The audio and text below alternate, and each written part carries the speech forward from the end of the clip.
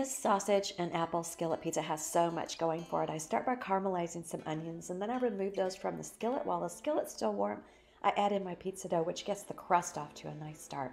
I make a white bean puree instead of an Alfredo sauce. It's super easy. Drizzle that over the dough, and then I add on my sliced apples, caramelized onions, and little bits of the chicken sausage.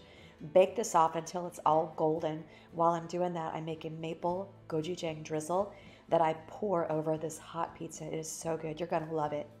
Check it out. The recipe's on tkfoodie.com.